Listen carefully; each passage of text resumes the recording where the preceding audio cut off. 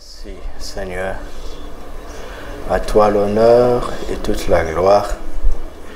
Ce temps est à toi et nous sommes là pour toi.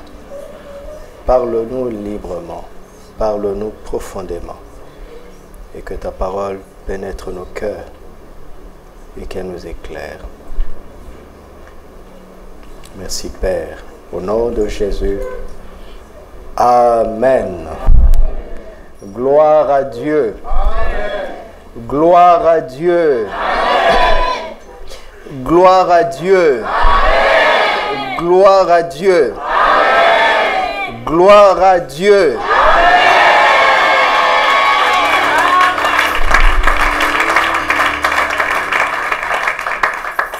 Alléluia. Une salutation triomphale à, trois personnes.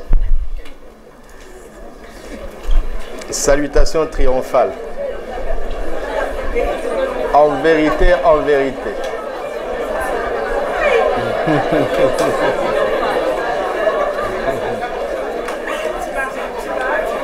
Alléluia.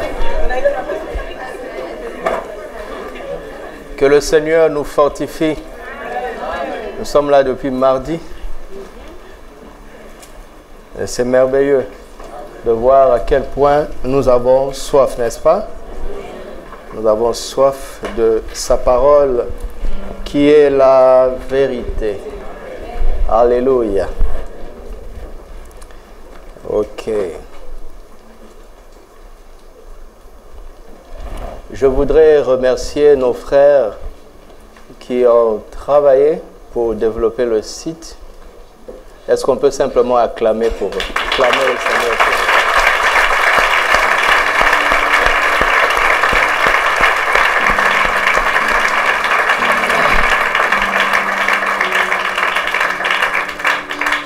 Merci beaucoup. Le torrent d'avril est prêt. Tout le monde va le prendre, n'est-ce pas?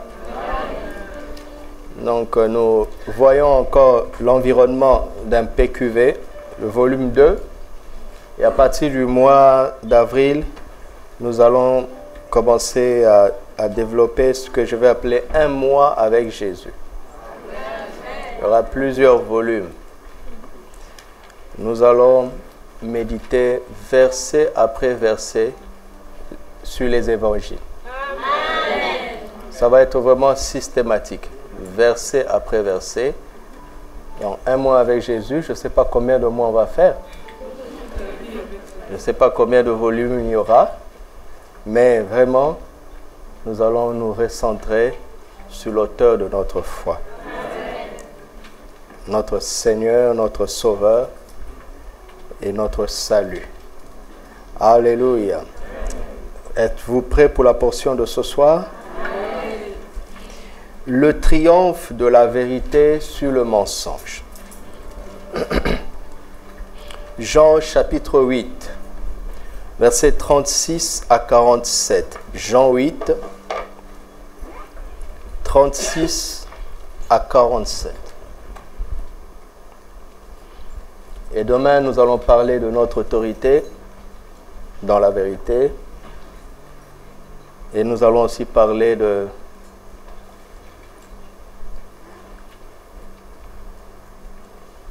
de trois lois qui vont nous aider à activer notre autorité. Ça, ce sera pour demain. Jean 8, 36. Si donc le Fils vous a franchi, vous serez réellement libre. Je sais que vous êtes la postérité d'Abraham, mais vous cherchez à me faire mourir parce que ma parole ne pénètre pas en vous. Je dis ce que j'ai vu chez mon Père, et vous, vous dites ce que vous avez entendu. Et vous, merci, et vous, vous faites ce que vous avez entendu de la part de votre Père. Il y a deux pères ici. Il lui répondit, notre Père, c'est Abraham. Jésus leur dit, si vous étiez enfant d'Abraham, vous feriez les œuvres d'Abraham. Mais maintenant vous cherchez à me faire mourir, moi qui vous ai dit la vérité que j'ai entendue de Dieu. Cela, Abraham ne l'a point fait. Quand est-ce qu'ils se sont rencontrés? Vous faites les œuvres de votre Père. Et lui dire, nous ne sommes pas des enfants illégitimes. Nous avons un seul Père, Dieu. Vous voyez à quel point ils sont inconstants? Ils ont brandi d'abord Abraham. Quand Jésus les a coincés, ils basculent maintenant sur Dieu. Verset 42. Jésus leur dit, si Dieu était votre Père, vous m'aimeriez. Car c'est de Dieu que je suis sorti et que je viens. Je ne suis pas venu de moi-même, mais c'est lui qui m'a envoyé. Pourquoi ne comprenez-vous pas mon langage? Parce que vous ne pouvez écouter ma parole. Jésus pose la question et il répond. Verset 44. C'est ça le nœud du message ce soir. Vous avez pour père le diable. Et vous voulez accomplir les désirs de votre père. Il a été meurtrier dès le commencement et il ne se tient pas dans la vérité. Parce qu'il n'y a pas de vérité en lui. Lorsqu'il profère le mensonge, il parle de son propre fond, car il est menteur et le père du mensonge. Ça, c'est le diable. J'ai envie de recommencer. Verset 44. Vous avez pour père le diable et vous voulez accomplir les désirs de votre père. Il a été meurtrier dès le commencement et il ne se tient pas dans la vérité. Pourquoi? Pour te tenir dans la vérité, qu'est-ce qu'il faut? Il faut d'abord que la vérité soit en toi. Lorsqu'il profère le mensonge, il parle de son propre fond. Car il est menteur, il n'est pas que ça. Il est même le père du... Le mensonge vient de lui. Et moi, parce que je dis la vérité, vous ne me croyez pas. Qui de vous me convaincra de péché? Si je dis la vérité, pourquoi ne me croyez-vous pas? Celui qui est de Dieu écoute les paroles de Dieu. Vous n'écoutez pas parce que vous n'êtes pas de Dieu. Je vais lire dans cette version amplifiée, parole vivante.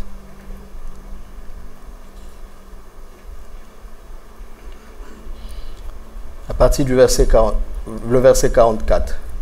Votre véritable Père, c'est le diable.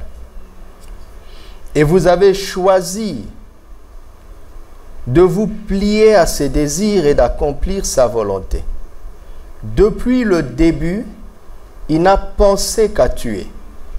Il n'a pas persévéré dans la vérité parce que pour lui, la vérité n'existe pas. Il n'y a rien de vrai en lui. Lorsqu'il ment, il est dans son élément. Ne pense pas à quelqu'un. On parle du diable.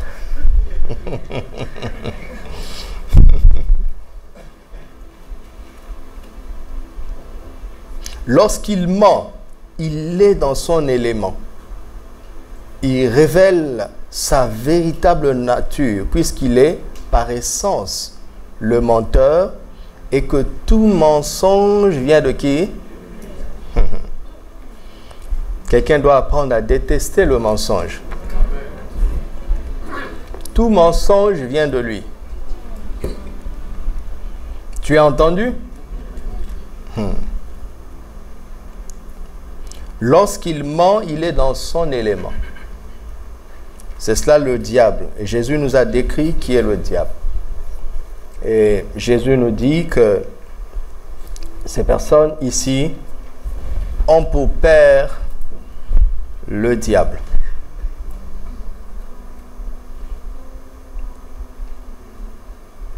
Jean chapitre 1, verset 12.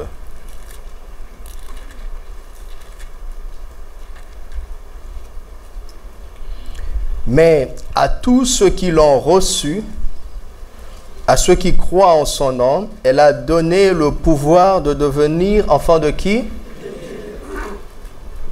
La parole donne ce pouvoir-là de devenir enfant de Dieu, de quitter les autres paternités pour devenir un enfant de Dieu. Ça, quand nous croyons, La parole en laquelle nous croyons nous donne le pouvoir de devenir enfant de Dieu. Ça, c'est de notre côté, quand nous croyons. Mais du côté de Dieu, qu'est-ce que lui fait quand nous avons cru? Qu'est-ce qu'il fait? Jacques chapitre 1,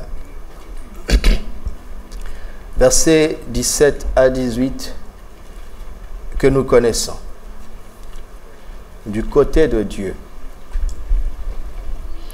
toute grâce excellente et tout don parfait descendent d'en haut du Père des Lumières, chez lequel il n'y a ni changement, ni ombre de variation. Il nous a engendrés selon sa volonté par quoi?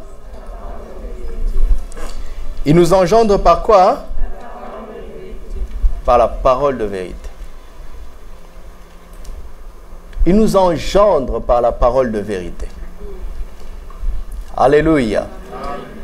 Ça, c'est du côté de Dieu. Quand nous croyons à la parole, et au nom de Jésus, Dieu nous accepte. Sans la foi, personne ne peut lui être agréable. D'accord? Il nous donne ce pouvoir, mais il nous engendre, il nous transforme et nous engendre à partir de la matière de la parole en laquelle nous avons cru. Et cette matière est la parole de vérité. Si tu es en Christ, tu dois comprendre de quoi tu es fait. Avec quoi tu as été engendré. Nous avons été engendrés par la parole de vérité. Alléluia. Dites-moi, quand est-ce qu'un bébé poisson devient un poisson? Hmm?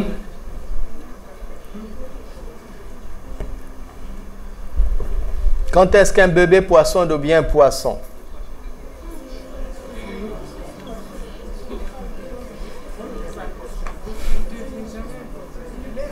Quand est-ce qu'un bébé poisson reçoit la nature des poissons? À la naissance, n'est-ce pas? Et parce qu'il est né d'un poisson, il est à l'aise dans l'eau. N'est-ce pas? Si vous voyez un poisson qui est à l'aise dans l'air, il y a à se demander s'il est un poisson. Il a peut-être la forme d'un poisson, mais il n'a pas la nature d'un poisson. Le diable euh, ne peut pas se tenir dans la vérité. Pourquoi? Parce que la vérité n'est pas en lui. Il ne peut pas être, il ne peut pas subsister dans un environnement de vérité parce qu'il n'y a pas la vérité dans son système. Vous comprenez? Revenons à notre fameux poisson. Un poisson peut subsister dans l'environnement de l'eau parce qu'il y a l'eau dans son système. Il a été créé à partir de l'eau. Quand Dieu a voulu créer le poisson, il a parlé aux eaux. Il a dit que les eaux produisent les poissons. Parce qu'il a été, parce qu'il est issu de l'eau, alors il peut vivre dans l'eau. Alléluia. Parce que le bétail est issu de la terre, alors il peut vivre sur la terre. Parce que l'homme est issu de Dieu. Créons l'homme à notre image, alors l'homme ne peut pas vivre en dehors de Dieu. Il a besoin de Dieu autant que le poisson a besoin de l'eau, autant que le bétail a besoin de la terre. Le diable ne peut pas supporter la vérité parce qu'il n'y a pas la vérité en lui.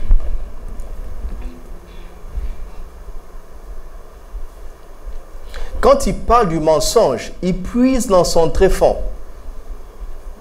Il ne fait pas exprès. C'est tellement naturel pour lui de mentir.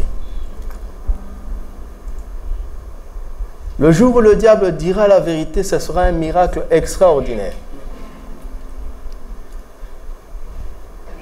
Il est meurtrier dès le commencement. Jésus l'a dit en d'autres termes, le, voleur ne vient que pour égorger, dérober et tuer. Parce que il est criminel par essence. Il est menteur par essence et même il va plus loin. Le Seigneur nous dit que le diable n'est pas seulement menteur par essence, il est le père du mensonge. Tout mensonge vient de lui. Il est le premier à avoir menti. Et il est le père du mensonge et des menteurs. si tu prétends que tu es un enfant de Dieu, tu ne dois pas être à l'aise avec le mensonge, le moindre mensonge. Le mensonge ne convient pas au système d'un enfant de Dieu. Vous avez entendu parler du détecteur de mensonges? Le mensonge crée des réactions chimiques dans l'organisme, on peut le mesurer. Ça crée des dysfonctionnements et la vérité fait du bien à l'organisme de l'homme.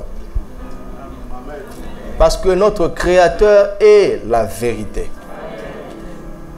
Alléluia. Il nous a engendrés selon sa volonté par la parole de vérité.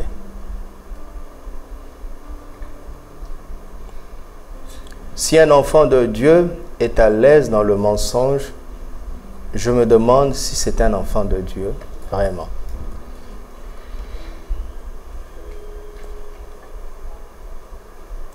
C'est pas possible. Celui qui est en Christ ne peut pas être à l'aise, heureux dans le mensonge. Alléluia. Et ce soir, nous voulons simplement parler du triomphe de la vérité sur le mensonge. La vérité triomphe toujours sur le mensonge.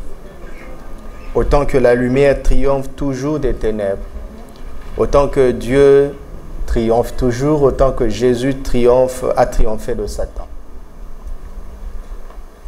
La vérité vraiment est le camp du triomphe, le camp de la victoire. Alléluia.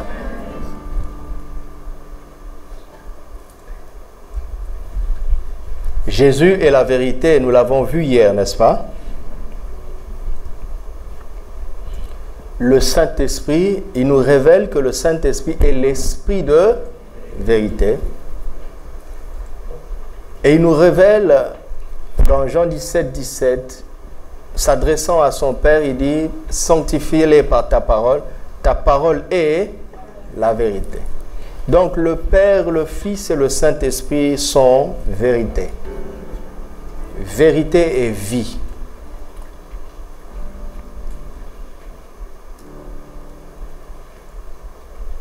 Tout en Dieu est vérité. Absolument tout. Tout en Dieu est vérité et vie. Alléluia. Et aussi tout dans l'esprit de celui qui est né de nouveau, c'est-à-dire celui qui est devenu un enfant de Dieu, tout dans son esprit est vérité et vie.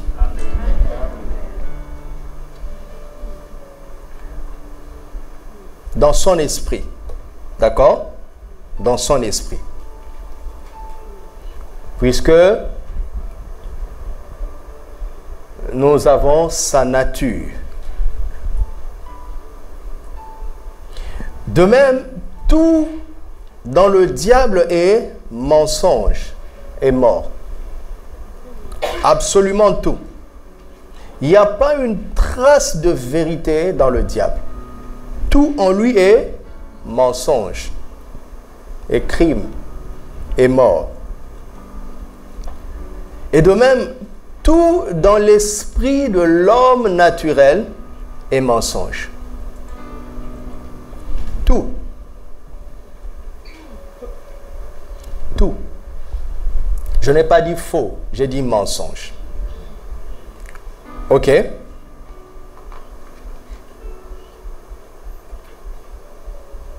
Mais l'homme naturel ne le sait pas encore. Jusqu'à ce qu'il soit exposé à l'évangile.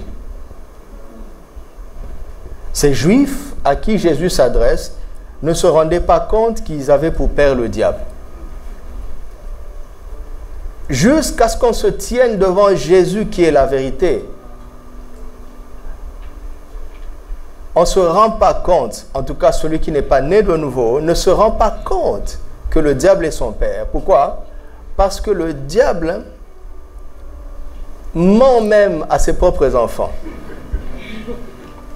Il ne veut pas que ses enfants sachent qui sont ses enfants.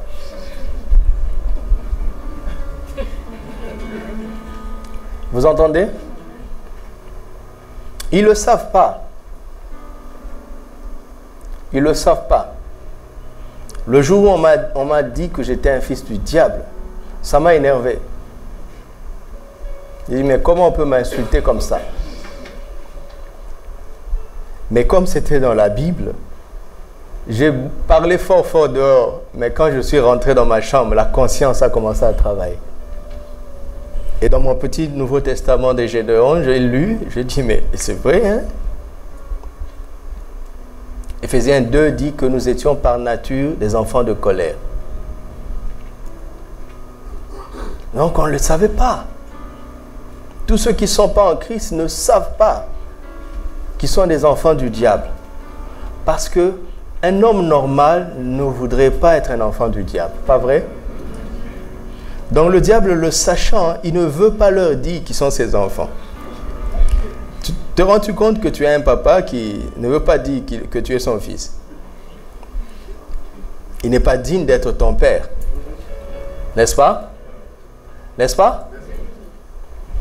Le diable ne sait tellement pas dire la vérité que tout ce qu'il dit est mensonge. C'est Jésus qui nous le dit. D'accord? Si le diable te dit que ce livre est blanc, il faut en douter.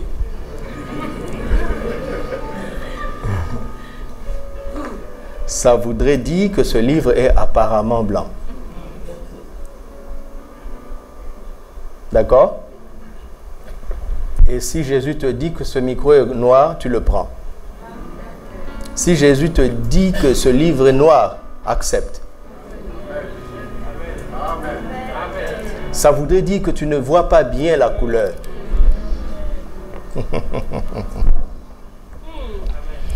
Alléluia.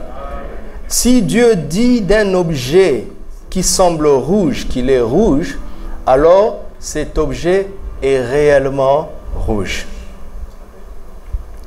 Mais si cela vient du diable, alors cet objet est apparemment rouge. Que je recommence? Nous avons un objet qui semble rouge. Il semble. OK? Je ne suis pas très sûr. Il me semble que cet objet est rouge. Et si le Seigneur vient me dire cet objet qui me semble rouge est rouge, alors je vais dire cet objet est réellement rouge. Mais si cet objet qui me semble rouge, le diable le désigne en me disant qu'il est rouge, alors je veux dire que cet objet est apparemment rouge. Réellement, il n'est pas rouge.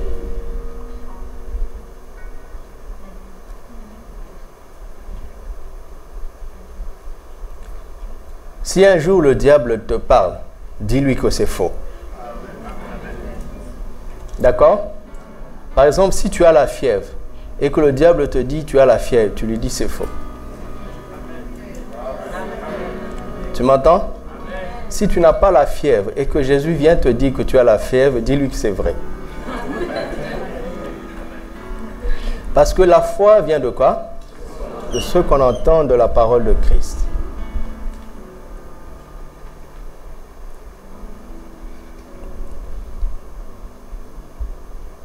Le diable est incapable de dire la vérité,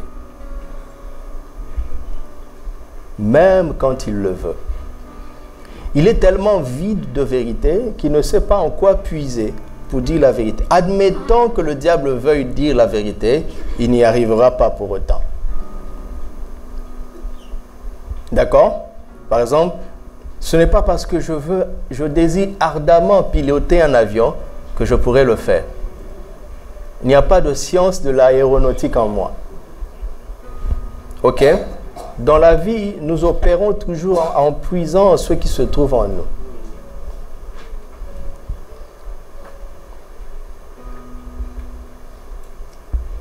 Et ce qui va libérer quelqu'un du mensonge, ce soir, s'il y a ici un enfant de Dieu dont l'intelligence n'est pas encore renouvelée et qui parfois recourt au mensonge, ce qui va te libérer, c'est de comprendre tu es, tu es fabriqué par la vérité et la vérité se trouve en toi.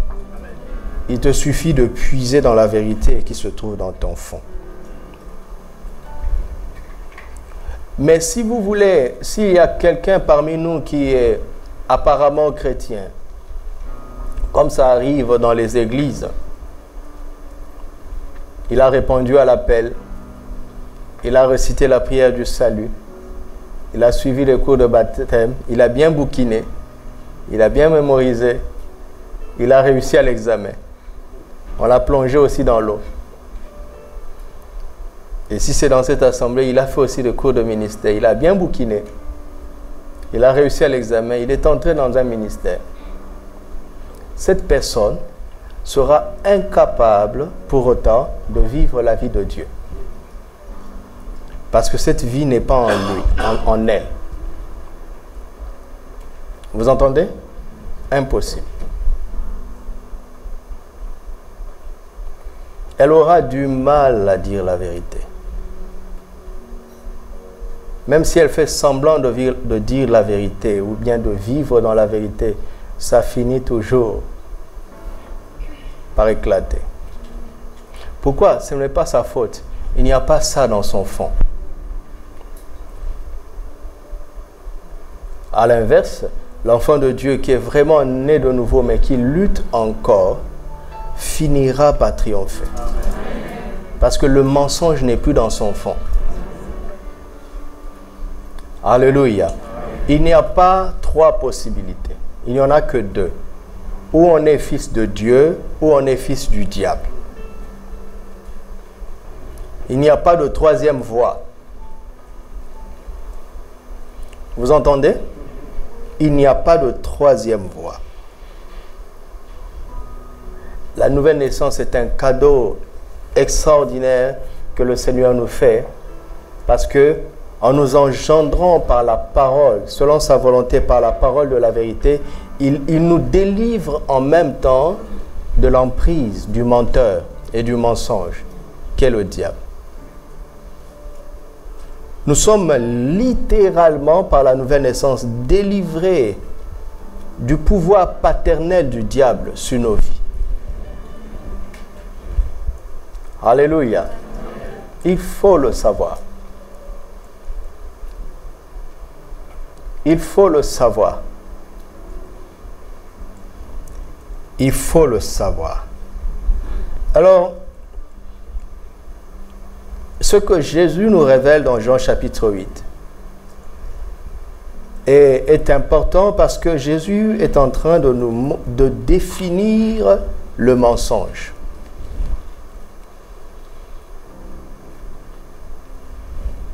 De la même manière que nous avons compris que la vérité, c'est Jésus lui-même. OK? OK?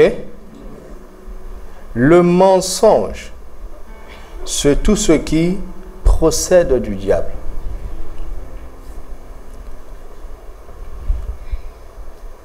Il est le père du mensonge. c'est sa marque déposée. C'est lui qui a le droit d'auteur. On ne peut pas trouver un plus grand menteur que lui. Et on ne peut pas trouver un menteur sans qu'il n'ait reçu cette nature et cette capacité du diable. Donc, ce n'est pas une affaire de ce qui est vrai ou de ce qui est faux. C'est une affaire de quelle est la source de cette information? Quelle est la source de cette idée? Vous me suivez? Si vous voulez savoir si c'est la vérité ou le mensonge, regardez directement à la source spirituelle de ce message, de cette idée. La vérité ou le mensonge sont d'abord des notions spirituelles. Alléluia. C'est d'abord des notions spirituelles. N'est-ce pas que Jésus a appelé Satan le prince de ce monde? N'est-ce pas? Et le Dieu de ce siècle, le prince de la puissance de l'air. Satan peut faire certaines choses qui semblent vraies,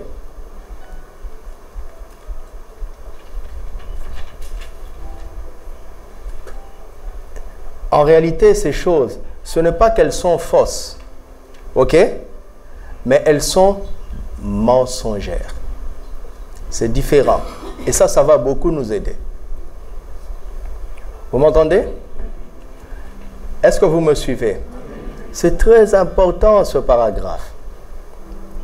C'est très important. C'est très important.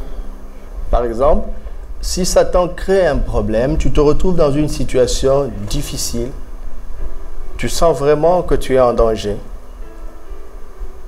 Mais en même temps, au fond de toi, tu ne sais pas pourquoi. C'est comme si il y a une, une petite paix au très fond de toi. Pourtant, tu es en danger. C'est déjà arrivé à quelqu'un? Je regarde en haut là-bas. Ouais. Tu dis, mais qu'est-ce qui ne va pas? Je suis devenu fou quoi? Normalement, je suis en danger. Mais tu ressens au plus profond de toi une certaine paix. Elle est petite. Mais quand tu rentres en toi-même, la paix est là. N'est-ce pas? Mais sur le plan réel, hein, naturel, le problème aussi est là. Qu'est-ce que tu dois apprendre à faire? Le Seigneur ne nous demande pas de dire que ce problème est faux. Mais il est mensonger. Ce n'est pas la même chose. Vous entendez? Pourquoi vous me regardez comme ça? J'ai vu certains me regarder comme ça. C'est pas la même chose. Je, suis, je parle comme ça pour que nous apprenions de plus en plus à être à l'aise dans la foi. Vous savez, quand Dieu, euh, est-ce que vous savez que quand on reçoit Jésus, on est justifié? N'est-ce pas? Quand on est justifié, ça veut dire qu'on devient juste. OK? Et, le Seigneur a dit, mon juste vivra par la foi. Donc Dieu est en train de dire, la foi est quelque chose de normal pour un juste. La foi est inaccessible quand on n'est pas juste. Et quand on est juste, la foi, c'est la vie normale. C'est très important ce que je suis en train de dire. Regardez, je vais mieux l'expliquer demain. La foi est quelque chose de tellement normal. Quand tu es né dans le royaume, hein, quand tu es né dans le royaume, la foi ne s'apprend pas. C'est ton style de vie normal. Ou tu es juste et la foi est ton style de vie normal, ou tu n'es pas juste et la foi est une mission impossible. Mais nous devons apprendre à comprendre les Écritures pour être à l'aise dans cette vie de foi que Papa nous demande de vivre. Et la difficulté, ce qui met à mal notre aisance dans la vie de foi, c'est parce que nous confondons ce qui est faux et ce qui est mensonger. Ce n'est pas la même chose. Alléluia. Alléluia. Regardez, tel que je suis ici, assis devant vous, il n'y a personne de plus riche que moi sur la terre. Je parle de moi parce que moi, je n'en doute pas.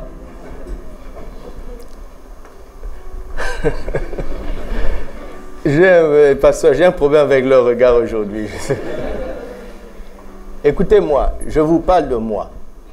Il n'y a personne de plus riche que moi sur la terre. D'accord?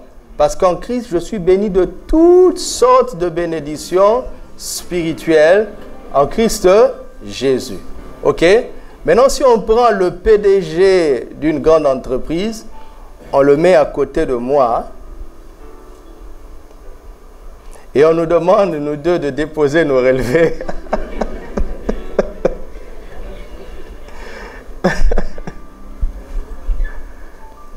Il aura plus d'argent que moi. Si je veux dire que parce que sur la base d'Éphésiens 1.3, j'ai plus d'argent que lui, ça c'est faux. D'accord? C'est faux. Mais si à cause de son relevé bancaire, il prétend qu'il est plus riche que moi, ça c'est mensonger. Ouvrez vos cœurs, sinon je n'arrive pas à passer, à avancer. Vous comprenez? Ça c'est mensonger. Regarde, Dieu, pourquoi Dieu n'avait pas prévu que l'homme vive avec la connaissance du bien ou du mal? On n'en a pas besoin. On ne vit pas avec ce qui est vrai ou faux, ce qui est mal ou, bien. Nous opérons à un autre niveau. Dieu, dans sa pensée, quand il regarde l'humanité, d'accord? Il regarde les vivants et les morts. Maintenant, si un mort fait du bien, ça change quoi? Hein? Si un mort fait du bien, ça change quoi? Si un mort fait du mal, ça change quoi? Rien. À lui, il commence à comprendre. Vous commencez à comprendre la place de ces deux arbres. Ça ne sert à rien qu'un mort fasse du bien ou qu'il fasse du mal. Ce qui importe pour Dieu, c'est que nous soyons en vie ou pas il a mis l'arbre de la vie et il a mis l'arbre de la connaissance du bien et du mal. Et quand nous regardons l'arbre de la connaissance du bien et du mal, nous voyons les deux opposés, le bien et le mal. Mais nous voyons que l'arbre de la vie, mais où se trouve la mort? Ça se trouve dans sa parole. Il dit, le jour où tu en mangeras, tu mourras. Donc la mort se trouve dans l'arbre de la connaissance du bien et du mal.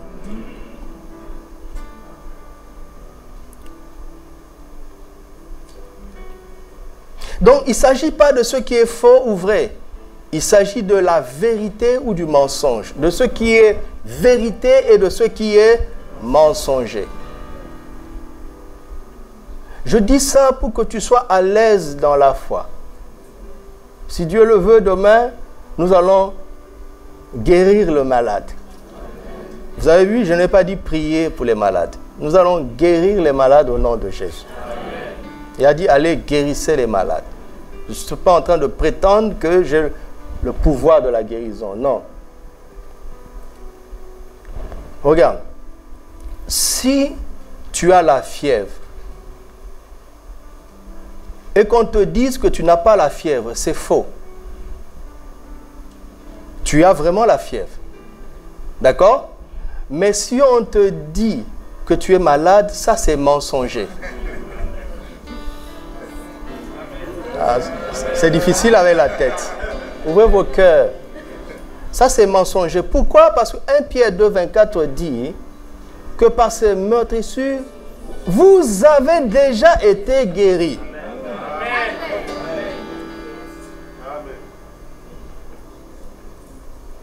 Pourquoi? Parce que le mensonge, c'est quoi? C'est l'opposé de la vérité. Or, la vérité, c'est Christ. La vérité, c'est ce que Dieu dit. Donc, tout ce qui s'oppose à ce que Dieu dit, bref, tout ce qui s'oppose à l'évangile est mensonger.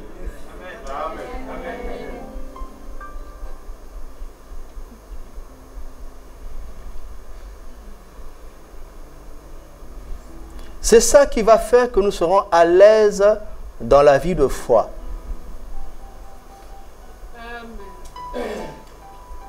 Seigneur, aide-nous. Seigneur, aide-nous. Seigneur, ouvre notre esprit, comme nous l'avons vu hier.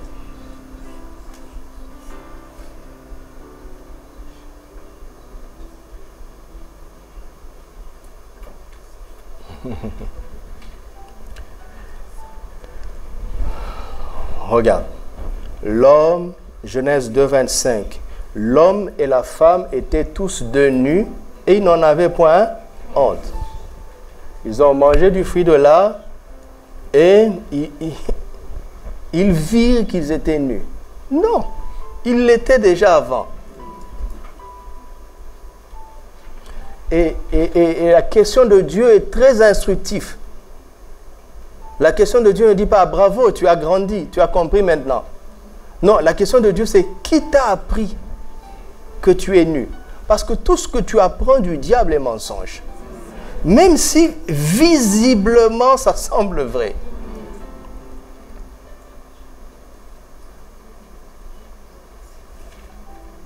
Pasteur Arlette m'a posé la question, est-ce que Dieu avait prévu d'habiller les hommes? Je dis oui. Sur quelle base? À cause des vêtements blancs que nous avons vus dans Apocalypse 3. Il viendrait un temps, si l'homme n'avait pas péché, un temps serait venu où Dieu allait les revêtir de plusieurs vêtements blancs.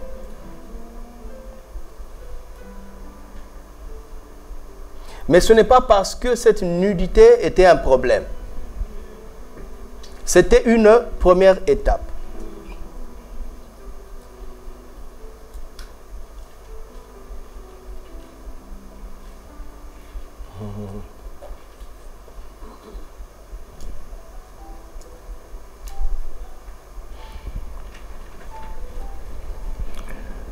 Il faut que ça devienne clair pour nous. Tout ce qu'on te dit qui est contraire à l'évangile est mensonge. Tu n'as pas besoin que ça soit faux. Ok? C'est un mensonge. Même si c'est apparemment vrai. D'accord? Mais connecte-toi à la source qui parle Si ce n'est pas Christ, alors on ne doit pas s'y fier. Il y a une ruse quelque part, il y a un piège quelque part. Et ça se voit, hein, tout ce que le diable fait en fait est vraiment mensonger. Des gens qui sont matériellement riches, mais en fait qui sont remplis de crédit. Ils ne sont pas riches. C'est une richesse mensongère. Mais vous les voyez opérer. Hein? ils achètent des choses réelles. Ils ont de la monnaie qui est vraie. D'accord? Le vrai et le faux, c'est sur le plan naturel. Dans l'esprit, on ne parle pas de vrai ou de faux. On parle de vérité, de mensonge. On ne parle pas de bien et de mal. On parle de vie ou de mort. Maintenant, écoute ce que Dieu dit. Dieu te dit, même si tu galères, Dieu te dit, pour tous ceux qui vivent, il y a de l'espérance.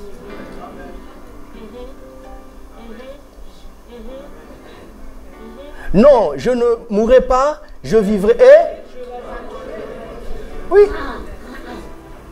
Et le psalmiste se dit, mais est-ce que ce sont les morts qui vont te louer? Mais si Dieu bénit un mort, ça ne change rien. Regarde, allez, donner une enveloppe d'un milliard à un mort. Il ne devient pas plus riche. Et tu ne peux pas appauvrir un mort non plus. Hein? Allez cambrioler un mort. Piller tout son coffre-fort. Ça ne change rien. Est-ce que vous comprenez ça?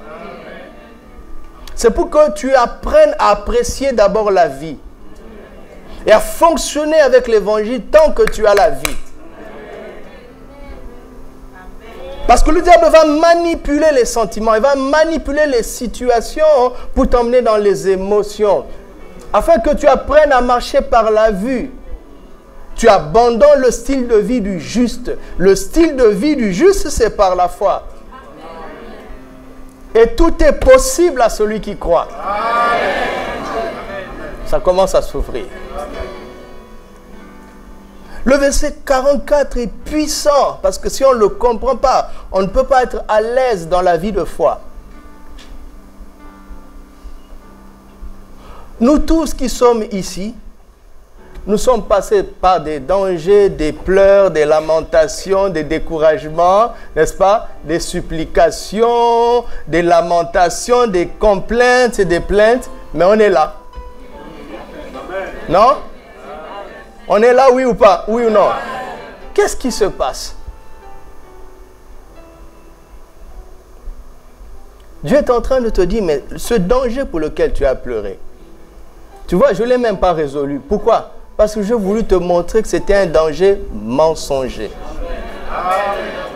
Ce n'est pas un faux danger. Ce n'est pas un faux danger. C'était un vrai danger, mais qui est mensonger? C'est-à-dire le message que ce danger te donne est mensonger. Alléluia. On est là.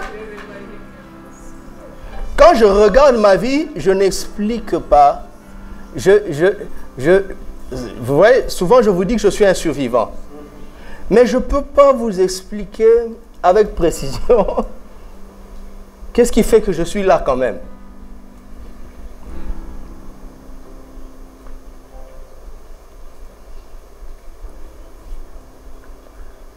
Apprenons à opérer au niveau de la vérité ou du mensonge du moins dans le discernement. Hein. Je ne vous demande pas d'opérer avec le mensonge. Vous savez que Jacob a mené 13 euh, ans de deuil à partir d'un mensonge. Joseph était vivant. N'est-ce pas? Il a eu 13 ans de deuil réel.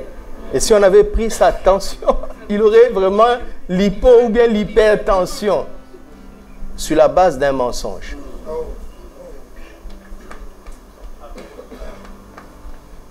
Joseph était en vie. Donc, le mensonge peut produire des effets réels. C'est ce qu'il faut savoir. Donc, ne juge pas à des effets, parce que le mensonge peut produire des effets réels.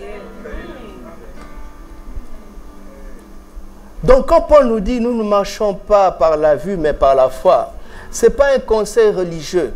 Il est en train de parler de quelque chose de réel. Ne te fie pas toujours à ce que tu vois, ne te fie pas toujours à ce que tu sens, ne te fie pas toujours à ce que tu entends. Tout ça est subjectif. Tout dans la vie est conventionnel. Il est quelle heure? Il est quelle heure maintenant? Il est 19h54.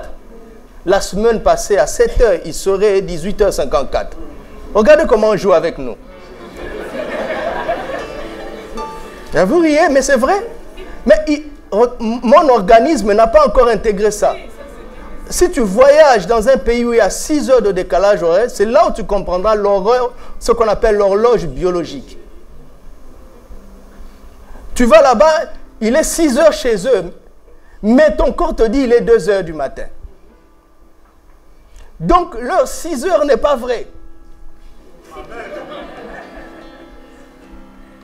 Vous savez, nous pouvons nous asseoir et nous convenir qu'à partir d'aujourd'hui, ça, c'est une couleur verte. Et à partir d'aujourd'hui, ça, ce serait vert. Et sur la base de cette convention, nous allons faire des choses réelles. Non? Mais oui. Tout ça là, c'est rien du tout. Tout ça, c'est rien. Ce sont des conventions. Ça, c'est ma main, droite, ma main droite.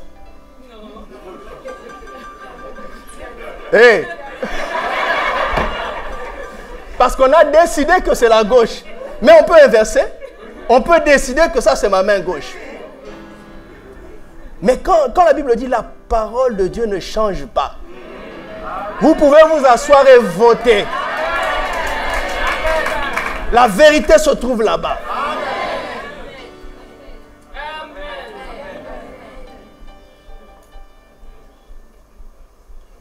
On a lu hier, si vous avez été au calvaire et vous avez vu tout ce que Jésus a subi, quelle mort horrible il a subi. Et que tout à coup, ayant toutes les portes fermées, Jésus se retrouve au milieu de vous, vous allez sortir par le plafond. Pourquoi il commence par la paix soit avec vous? Vous avez réfléchi? Il commence toujours par ça. Pourquoi? Mais parce que c'est normal de paniquer. Et la convention les emmène à dire c'est un fantôme. C'était vraiment pas un fantôme.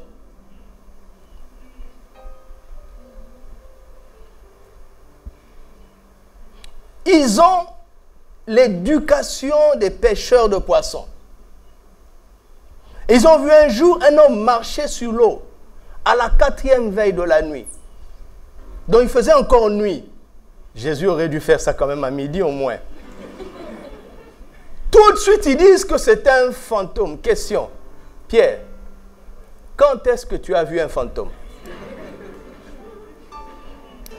Hein? Et vous croyez aux fantômes que vous n'avez jamais vus. Et quand Jésus vous demande de croire sans voir, vous refusez. Tu as déjà vu un fantôme? Mais tu y crois que ça existe.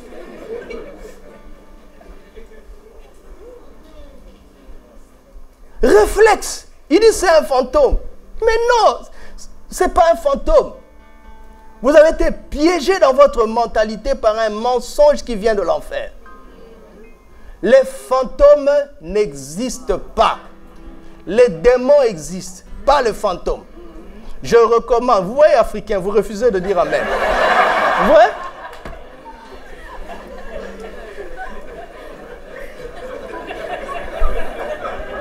Regardez les expressions que vous, dites. Mort vivant, ça veut dire quoi mort vivant? Assieds-toi un peu, réfléchis. Mort vivant, c'est comme si tu es en train de dire blanc, noir, grand, petit, chaud. Non Je suis en train de confronter nos raisons. Et vous voyez déjà, moi ça me fait rire. Parfois je suis devant la télé. J'aime écouter les chroniques politiques là. Mais à un moment, ça devient comme de la comédie pour moi. Le gars, il parle avec assurance des bêtises. Toute sa thèse, toute sa théorie, du début à la fin, repose sur des faussetés, des mensonges. Et il parle avec assurance et on lui donne une chaire, c'est un professeur, et il écrit un best-seller, les gens achètent. Tout est faux.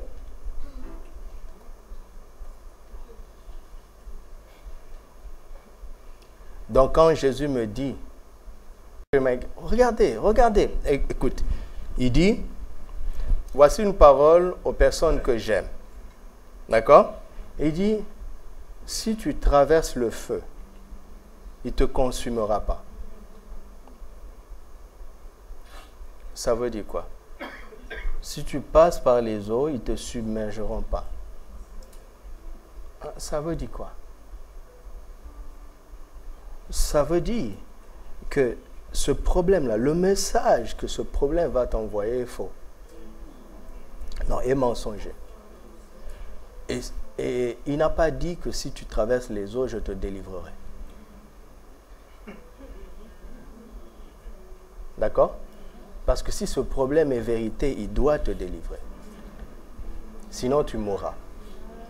Mais si ce problème est mensonger, il n'a pas besoin de te délivrer parce que de toute façon, tu ne mourras pas. Oui, j'arrive pas à passer. Parce que si on ne comprend pas le verset 44, demain, on ne pourra pas entrer là où l'Esprit a prévu que nous puissions entrer.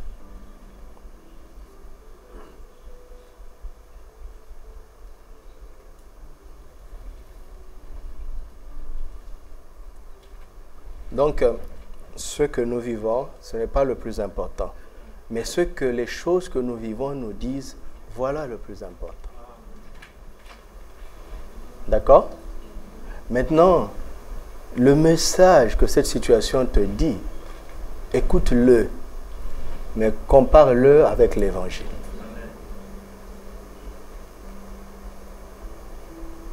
Ce n'est pas de l'amusement c'est pas de l'amusement. Vous savez, parfois nous qui prêchons, euh, nous essayons un peu d'aider Dieu. Vous voyez? Par exemple, si je dois vous prêcher sur Et mon Dieu pourvoira à tous vos besoins. D'accord? Je veux faire des déclarations de foi. Vous allez dire Amen, Amen, Amen, Amen. Mais à un moment donné, je veux dire Va quand même travailler. Vous ne connaissez pas des gens qui travaillent, mais qui n'arrivent pas à nouer les deux bouts. Vous ne les connaissez pas? Je ne suis pas en train de dire qu'il ne faut plus travailler.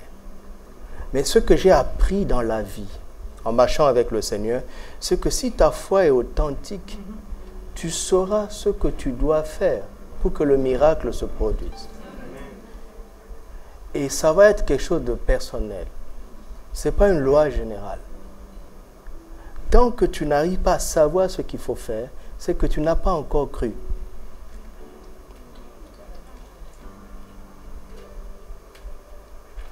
Parce que la foi va te donner une connaissance intérieure. Elle va te connecter à la sagesse de Dieu dans cette situation.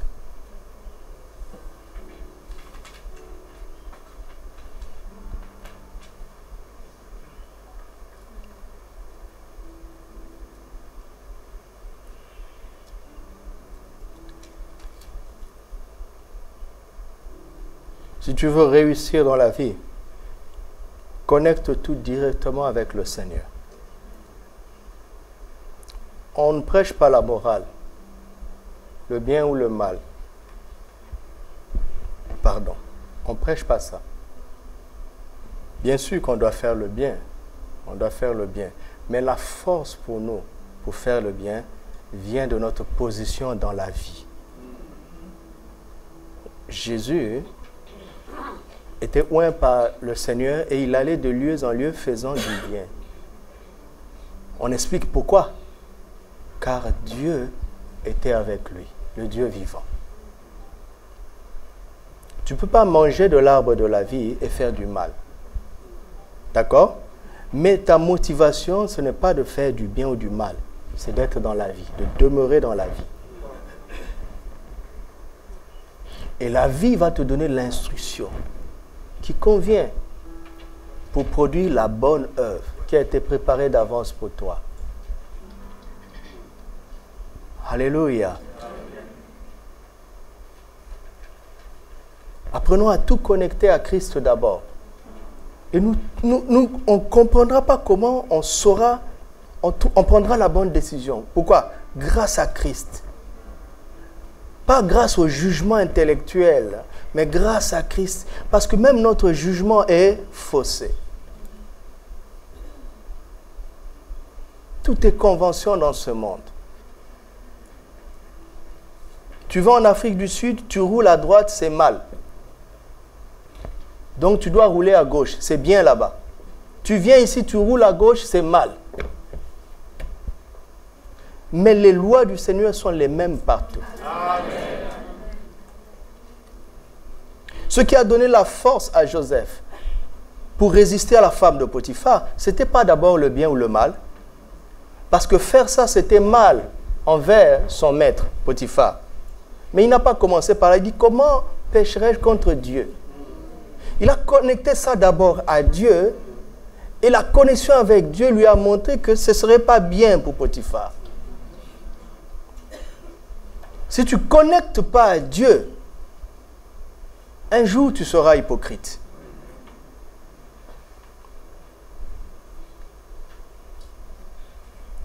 Vous voyez comment le diable se cache? Pourquoi je dis que le diable se cache? Parce que ces pauvres juifs, ils ne savaient pas qu'ils étaient fils du diable. Leur propre papa ne s'est jamais révélé. Il n'aura jamais dit qu'il est leur papa il les laisse croire qu'ils fils, sont fils d'Abraham. Il les laisse. Parce que le diable sait que s'il révèle qu'il est ton papa, tout de suite tu vas fuir. Non? Il le sait.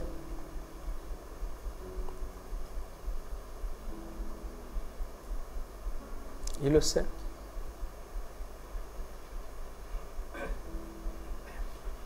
Regarde, quand vous allez prendre une assurance, Tout ce qui est écrit en grand là, ce n'est pas le plus important. La vérité, c'est dans les astérisques en bas. le diable est comme ça. Mais Jésus, il dit tout au début, vous aurez des tribulations. Prenez courage. J'ai vaincu le monde. Vous aurez des... Jésus dit tout pour que tu le suives en âme et conscience. Il ne cache rien. Il ne te dit pas que tout sera toujours rose, mais il te dit que tu auras toujours la victoire. Alléluia. Vous avez compris?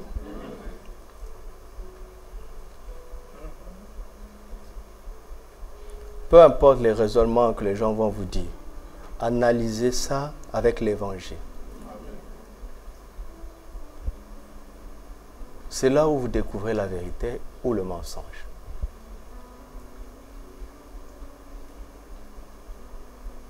C'est tout.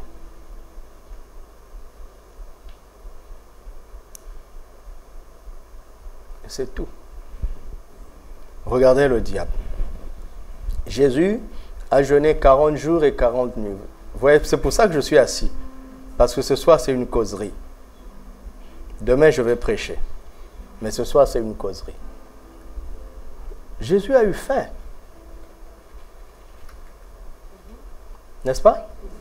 Jésus a vraiment eu faim. Le diable est venu compatir.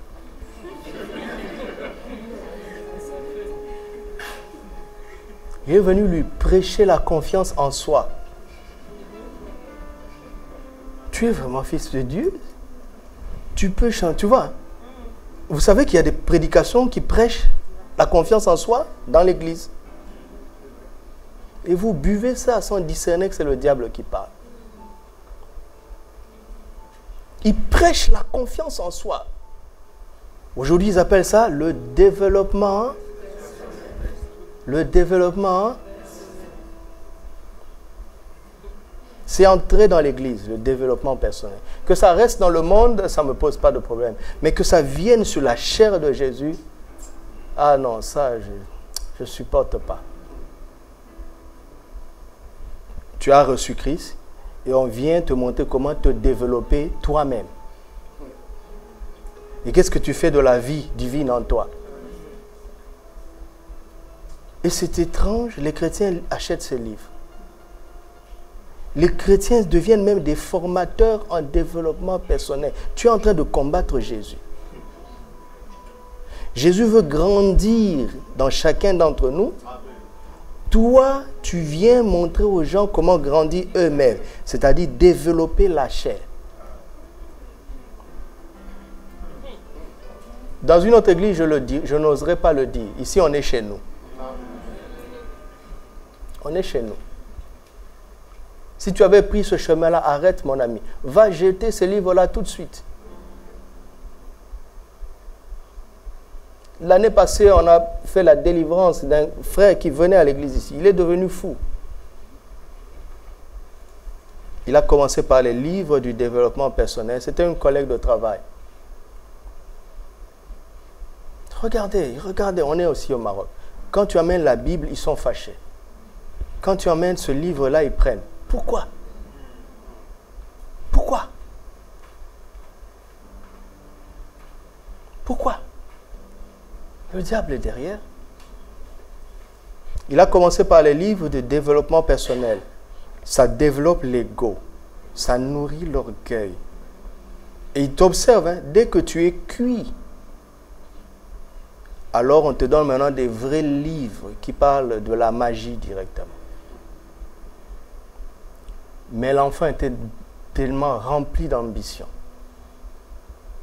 Il avait tellement appris qu'il va réussir, il va devenir grand, il va devenir un grand homme, il va devenir un grand banquier. Maintenant, on lui présente la vérité. On dit en réalité, si tu veux devenir un grand banquier, en fait, le chemin, c'est ça. Tout ça là, c'était le parvis.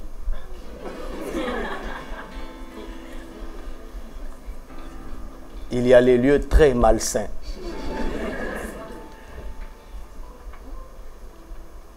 Il a pris. Parce qu'on l'avait déjà cuisiné. Et voilà qu'on m'appelle. L'enfant commence à parler tout seul dans la chambre. On me l'amène ici en veste et en cravate. D'abord, j'ai pris autorité. Ces, collègues, ces cochambiers qui ne sont pas chrétiens, ils ne comprennent pas ce que je fais. ils me l'ont amené, je lui ai dit bonjour, je lui ai dit assis-toi. Ils ne comprennent pas. Quand j'ai dit assis-toi, j'ai parlé au démon. Donc ces voisins ne comprennent pas. Oh, il est assis. Oh, il est devenu calme. Il me demande, est-ce que tu as fait un peu de psychologie? Si tu lui as dit que j'ai parlé à un démon, il vont fuir. Donc je lui ai dit, j'avance. Alors, dès que vous commencez à parler, quand vous voulez toucher à quelque chose, il commence à délirer. En fait, le démon ne veut pas qu'il dise. Alors là, j'ai pris encore autorité. Donc, moi, c'est assis. Et c'est là où j'ai compris quel était le chemin. Mais vous savez quoi? Il ne faut pas faire la délivrance comme ça, tout va. Oui, vous avez maintenant découvert, et il a avoué, n'est-ce pas, que c'est ça. Tu vas te lever et dire au nom de Jésus, sors. Non. Si lui ne renonce pas, le démon ne sortira pas. Et vous savez quoi? Le jeune homme a refusé.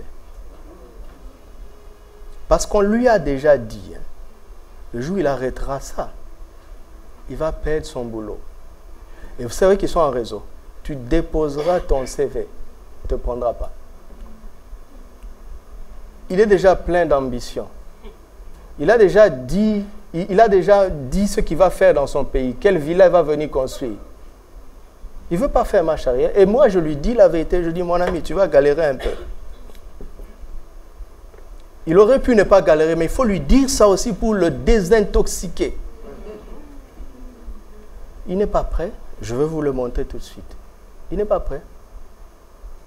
Je l'ai laissé. Il est rentré au pays. J'ai appelé son voisin. Il dit, oh oui, ils l'ont emmené dans un camp de prière, chez un prophète. C'est ça, ce genre de prophètes qui vont commencer à faire la délivrance à tout va. Non, le gars, tu lui dis sort, lui il tient à ça. Le démon ne sortira pas. Et ils vont vous tromper, et le prophète, et le pasteur, et ils vont vous mélanger, mélanger, mélanger.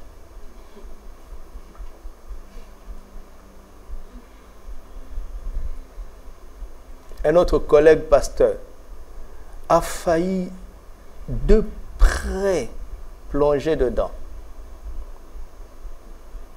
Et il nous témoigne, c'est l'ami d'un ami. Il dit, mon cher, ça a commencé doucement. On m'a invité, tu vois, ils, sentent que tu prêches bien. Je peux causer encore? On t'invite pour prêcher. On te loge dans un hôtel 5 étoiles. Une voiture de luxe. Attention, on dit à l'homme de Dieu, l'homme de Dieu. Ils sont en train de lui donner le goût du luxe. Le goût du luxe. À la fin du séminaire, une grosse enveloppe. Ils sont en train de lui apprendre à monnayer la prédication. Ils sont patients, ces gens-là. Donc, à cause de ça, quand on l'invite ailleurs, il dit, vous ne vous respectez pas l'homme de Dieu. J'étais là-bas, regarde comment on a reçu. Il ne sait pas qu'il est en train de glisser. Finalement, il a commencé à choisir les invitations. Là où on le reçoit à pied, il n'a pas le temps. Il ne comprend pas. là où on l'invite avec euh, une chambre d'hôtel 5 étoiles, tout, il ne consulte pas l'esprit. Hein. Non, Dieu est d'accord, il faut édifier les gens.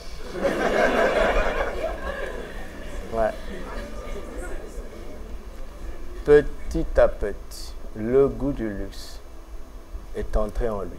Mais sa femme, sa femme, tu connais l'homme, sa femme se rendait compte que quand son mari vient de là, il n'est plus le même. Il est irritable, il est arrogant. Sa femme dit, je sens pas. Il dit, regarde, prends, achète-toi ce que tu veux. Comment ça, tu sens pas? C'est l'exaucement? On a pris, non? Pauvre femme.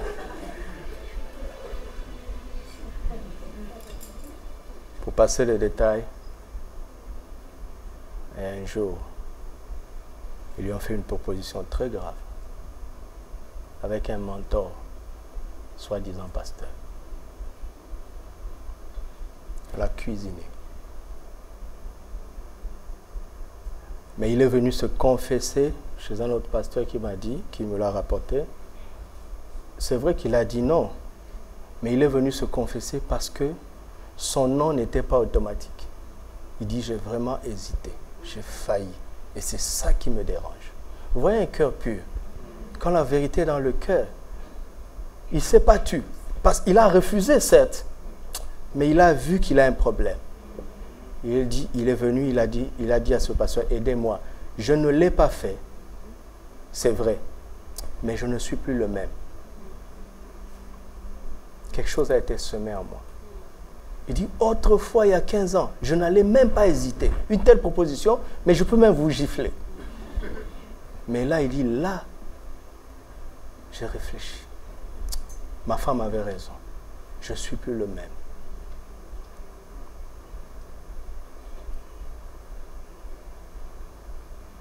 Parce que si vous restez dans la morale, le diable va vous avoir. C'est d'abord spirituel. Alléluia. Et, ça, ça va nous conditionner pour avoir le discernement. Vous savez, le discernement n'est pas quelque chose de logique.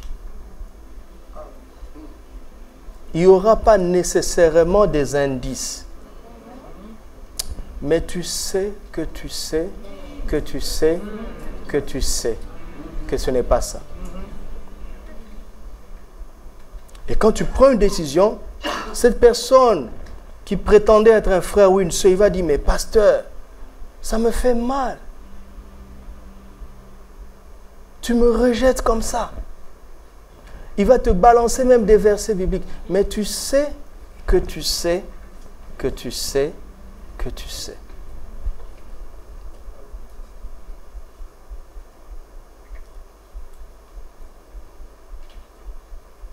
Jésus a été clair. Il dit, il nous envoie comme des brebis au milieu des loups. Jésus nous a tout dit.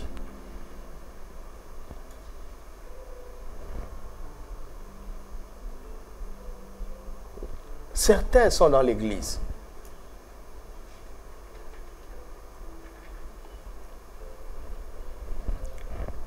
Si tu as quelqu'un qui veut t'aider à te développer toi-même, fuis-le. Suis celui qui veut t'aider à développer Christ qui est en toi.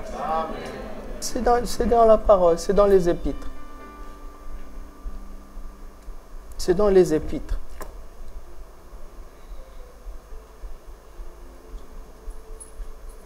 Donc tu vois, je disais que le diable a compati avec Jésus qui avait faim.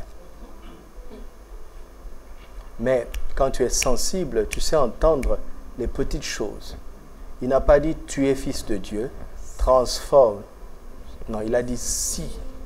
Ceci-là suffit déjà. Dieu a déjà dit celui-ci est mon fils. Qui es-tu pour mettre ainsi? Dieu a fait une affirmation. Qui es-tu pour parler au conditionnel? Ça suffit. Jésus était capable de transformer le pierre en pain. Mais à cause du si, il dit non, non je ne le ferai pas. Alors le diable a commencé à insister. Jusqu'à lui proposer tout le royaume de la terre et leur gloire. Il y a un piège derrière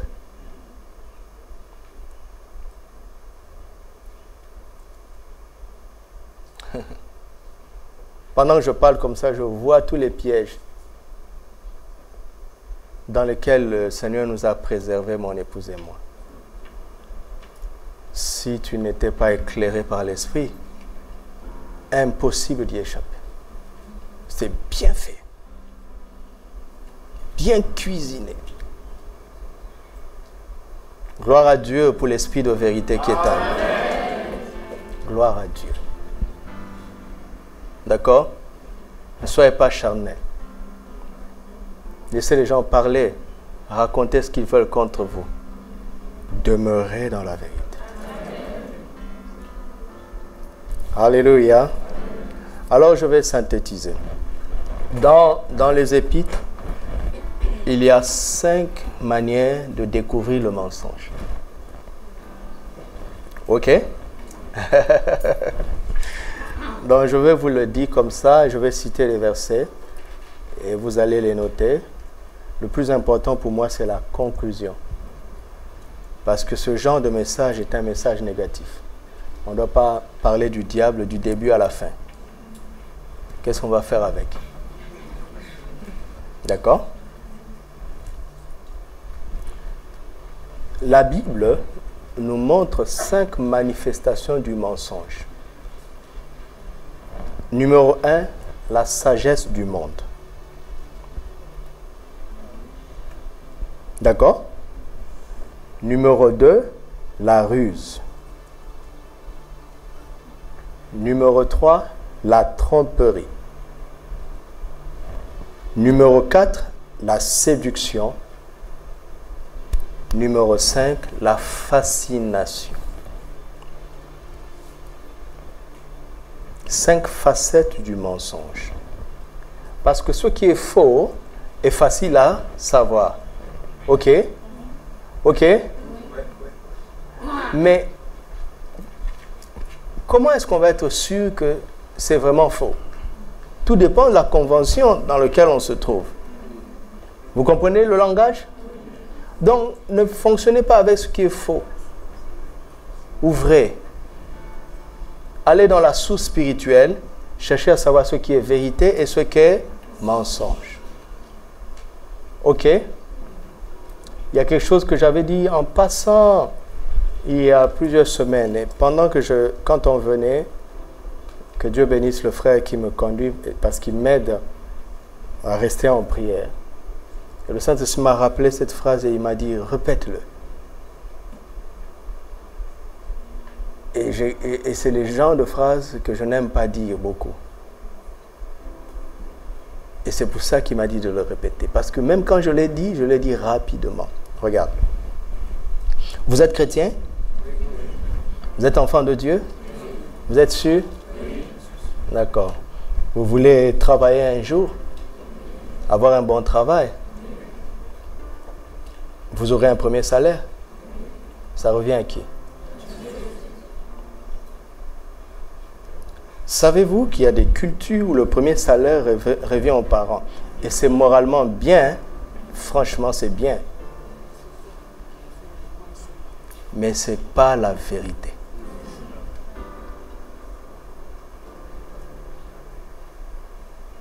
Vous comprenez? Ce n'est pas la vérité. Les prémices sont à Dieu. Mais le même Dieu te demande d'honorer ton père et ta mère. Donc après les prémices, tu dois honorer tes parents qui t'ont euh, éduqués jusque-là. Tu dois les honorer. Mais les prémices sont à Dieu. La dîme est à Dieu. Elle n'est pas au pasteur. D'accord? Mais tu dois honorer les pasteurs. Et la Bible parle d'aumône pour les nécessiteux mais la Bible parle de libéralité pour tes frères. Donc il y a tout ça. Ce sont des secrets d'abondance. Tout ça, la pratiquer tout ça.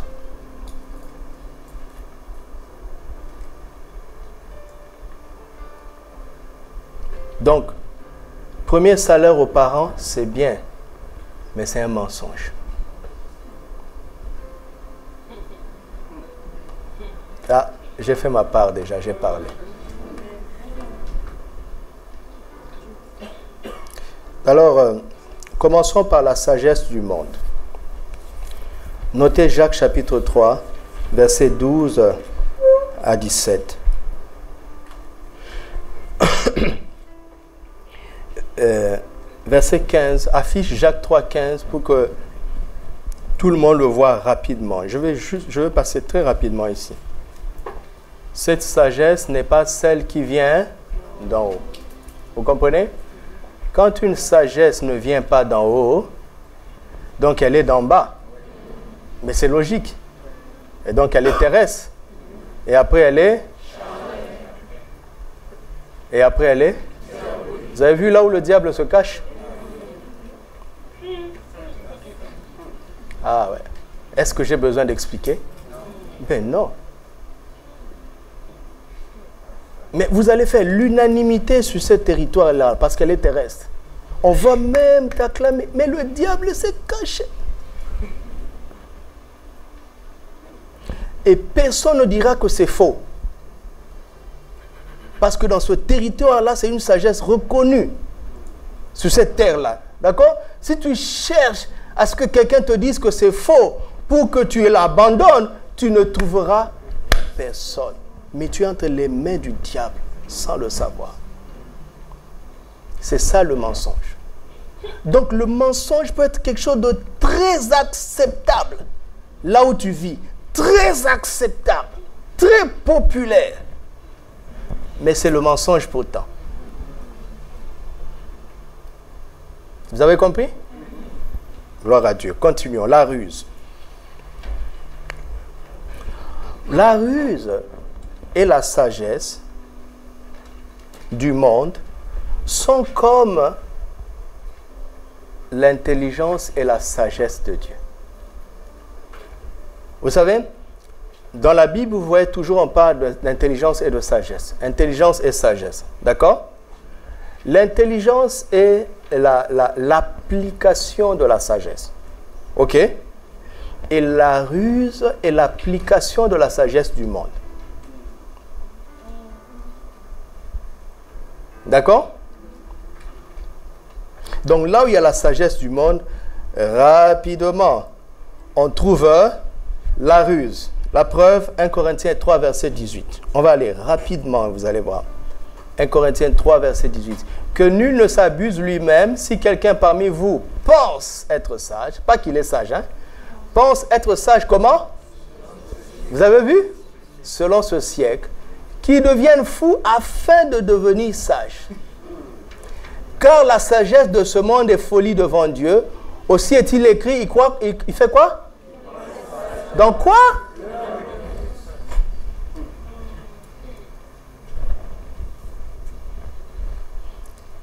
Les gens qui sont pleins de la sagesse du monde, maintenant dans les réalités de la vie, ils sont très rusés. Rusés hein, dans leur méthode. Pour l'attraper, s'il n'y a pas le Saint-Esprit, tu ne l'auras pas. Parce qu'il t'épate d'abord dans sa soi-disant sagesse. Mais tu vois dans les méthodes, elle dit ça, c'est pas Nishen, c'est pas trop Nishen. Il va te prendre de vitesse, il dit non, oh, ah,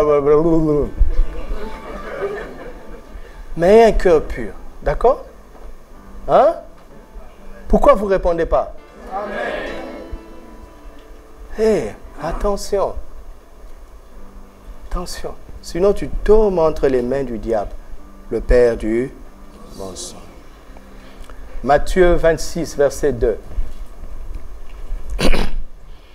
Alors, 2 à 4. Alors les principaux sacrificateurs, quand Jésus est en train de dire aux Juifs que vous avez pour père le diable, écoutez.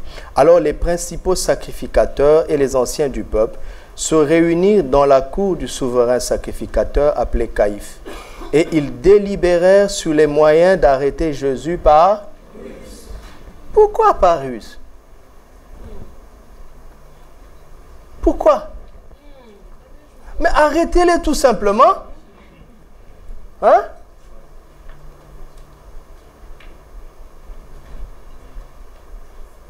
Est-ce que le diable ne se cache pas derrière tout ça? Oui. En se servant des pasteurs. Parce que c'est les, principaux, pas les principaux sacrificateurs et les anciens. Que Dieu garde nos anciens et nos pasteurs. C'est le diable qui travaille avec eux ici. Mais le mot sort par ruse.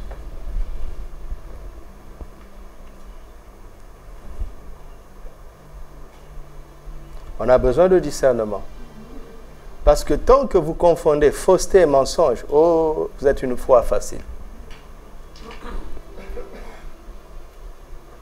Peut-on lire un autre verset? Vous comprenez pourquoi je me suis assis ce soir? J'aime pas tout vous dire, mais j'ai passé une nuit et une journée difficile.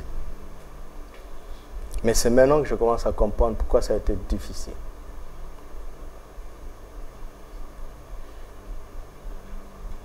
Parce que ce message va briser le contrôle que l'ennemi a sur vos vies alors que vous ne le savez pas. Vous ne le savez pas. Vous ne le savez pas. C'est pour ça que j'ai souffert comme ça.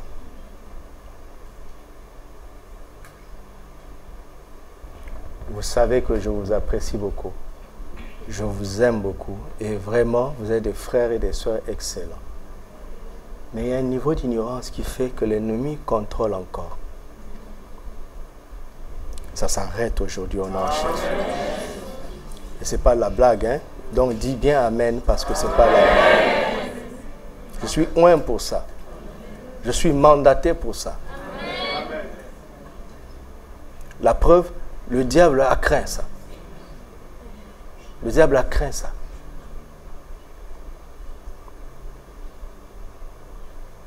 Donc ouvre bien ton cœur. C'est pour ta vie. Acte 13, verset 5. Vous allez voir encore la ruse ici. Arrivés à Salamine, ils annoncèrent la parole de Dieu dans les synagogues. Ils avaient Jean pour aide. Jean ici, c'est Jean-Marc. Marc. Et ensuite traversé toute l'île jusqu'à Paphos. Ils trouvèrent un certain magicien faux prophète. D'accord? Ça, c'est Luc qui écrit a posteriori. Vous comprenez? Luc n'écrivait pas quand les choses se passaient. Il raconte après. Donc, il a du recul pour dire que c'est un magicien un faux prophète. Mais je veux vous dire à quel point ce n'était pas évident, parce qu'il s'appelle, il était nommé Bar Jésus. Pour moi, Bar Jésus, ça veut dire anti-Jésus. Mais ce n'est pas ce que le grec veut dire. Bar ici veut dire fils de Jésus. C'est comme les, Hébreux diraient Ben Jésus. Je vais y arriver. Les Hébreux diraient Ben Jésus. Ben Yamin, fils de ma droite. vous voyez, on dit Bar Timé, fils de Timé. Donc Bar là veut dire fils de. Il y a quelqu'un qui se présente comme Bar Jésus, fils de Jésus. Mais tout le monde l'écoute. Et en plus, il fait des miracles. En plus, il prophétise. Vous comprenez? Et il n'a jamais dit qu'il est magicien. Non, il se présente comme un fils de Jésus.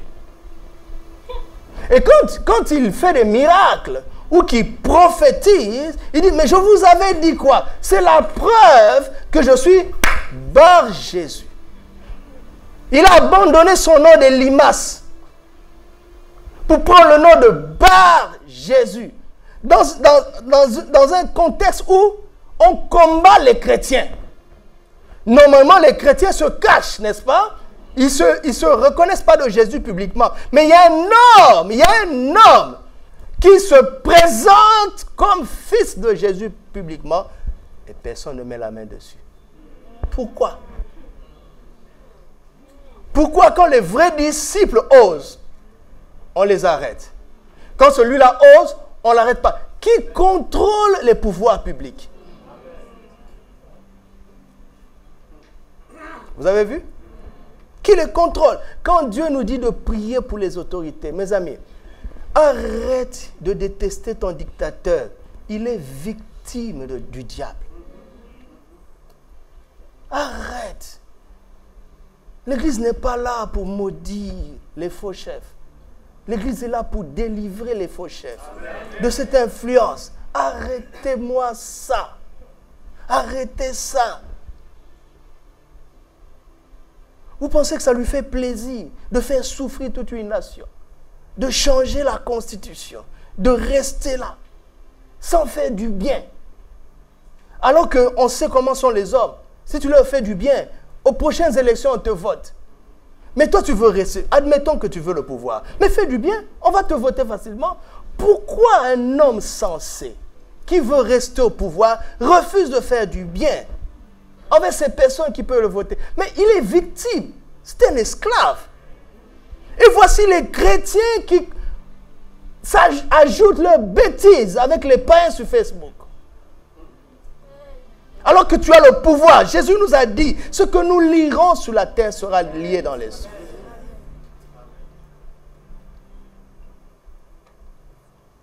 Bar Jésus.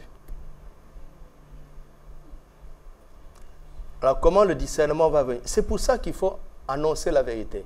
Parce que la vérité va révéler les choses cachées. Ok? Bar Jésus, verset 7, qui était avec le proconsul, il contrôle une autorité de la place. C'est juste pour lui. Un homme intelligent, un gars intelligent, mais il est manipulé. Il est manipulé parce qu'il est intelligent. Pourquoi? Parce qu'il connaît le bien et le mal. Mais il y a quelqu'un qui opère avec le mensonge, qui opère avec la mort spirituelle. Tu n'es rien du tout. Hein? Dites-moi, est-ce que c'est parce que quelqu'un a un bac plus 20 qui ne peut pas être possédé? Hein? Hein? Est-ce que c'est parce que tu as un bac moins 20 que tu ne peux pas être le temple du Saint-Esprit? Ça n'a rien à voir, ce n'est pas intellectuel. D'accord? Et pourquoi tu es complexé devant quelqu'un qui parle un gros français? Tu as le Saint-Esprit. Parle en langue.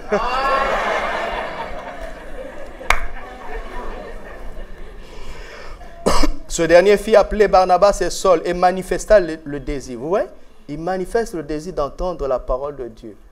Sanctifie-les par ta parole, la parole la vérité. S'il entend la parole de Dieu, il va être sanctifié.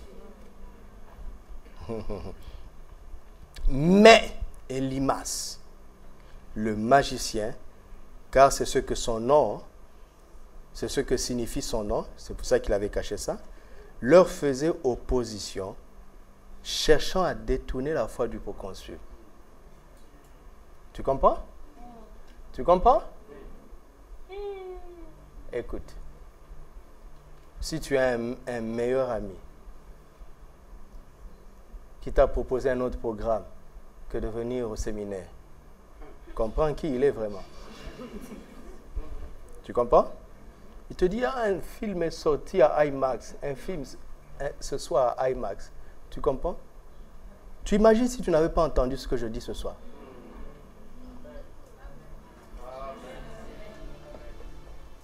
Verset 9. Alors Saul, appelé aussi Paul, tu vois, lui aussi il a deux noms. Donc il, connaît ces affaires-là. il connaît cette affaire, l'image, je connais ce jeu-là. Alléluia. appelé, appelé aussi Paul rempli du Saint-Esprit. Pourquoi? Parce que Paul, c'est sa dimension divine. Saul, c'est sa dimension naturelle qui faisait de lui un persécuteur. Rempli du Saint-Esprit, fixa le regard sur lui et dit, écoutez, homme plein de toute espèce de quoi? Et de... ensuite? Pourquoi ils sont rusés comme ça? Pourquoi ils sont experts dans la fraude? Ils prennent de leur fond, dans leur nature de fils du diable. Et toi, tu vas devenir ami d'une telle personne, soi-disant parce qu'il vient à l'église, jusqu'à aller l'épouser. Ah, tu ne vas pas nous appeler, hein? On ne te prêchera pas le divorce. Je dis, tu restes là, Tu vas tellement prier que tu seras qualifié pour être intercesseur.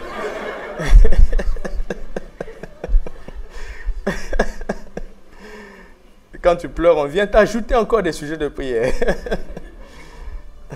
Parce que dans les couples où tout va bien, les, mamans oublient, ils négligent l'intercession. Elles sont tellement heureuses avec leur bon mari.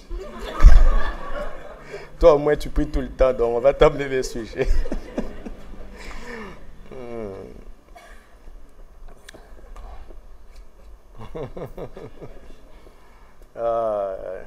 Ah, C'est pour ça qu'il m'a oint. Ephésiens 4, verset 11. Regarde. Je suis en train de faire ce pourquoi il nous a oint. Et je suis en train de faire ça, et cette onction coule sur eux, et ils vont le faire. Et ils vont le faire davantage. Et ils vont le faire mieux que moi. Au nom de Jésus, recevez. Et il a donné les uns comme apôtres, les autres comme prophètes, les autres comme évangélistes, les autres comme pasteurs, les autres comme docteurs, pour qu'ils prêchent tous les dimanches et qu'ils fassent des séminaires. Pour qu'ils portent des vestes et mettent des affiches sur VPV Online.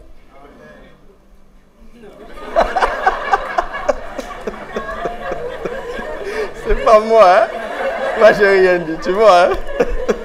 Que Dieu te bénisse, mon frère pour le perfectionnement des saints, en vue de l'œuvre du ministère et de l'édification du corps de Christ, écoutez le verset 13, jusqu'à ce que nous soyons tous parvenus à l'unité de la foi et de la connaissance du Fils de Dieu, à l'état d'homme fait, à la mesure de la stature parfaite de Christ. Tout ça, ce n'est pas pour des beaux yeux, afin que, il y a un but, afin que nous soyons plus des enfants flottants, emportés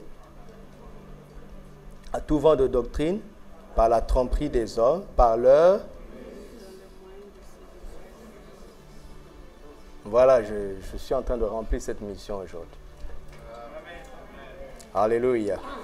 Maintenant, vous voyez, ce verset va me faire gagner du temps. Ce verset cite trois choses en même temps. Ce verset cite la tromperie par les ruses, par le moyen de la séduction. Donc il y a la tromperie, il y a la ruse, il y a la séduction. Trois facettes du mensonge. Vous avez vu? Mais, on cite la tromperie avant. Quand vous lisez, n'est-ce pas? Par la tromperie des hommes, par leur ruse. C'est-à-dire que c'est la ruse qui porte la tromperie. Et c'est la séduction qui les porte tous. N'est-ce pas? Regarde. Pourquoi il est important pour le diable d'être d'abord rusé avant de tromper Parce que s'il vient avec la tromperie, tu ne vas pas prendre. Il dit à la femme, Dieu a-t-il réellement dit? Ça, c'est la ruse.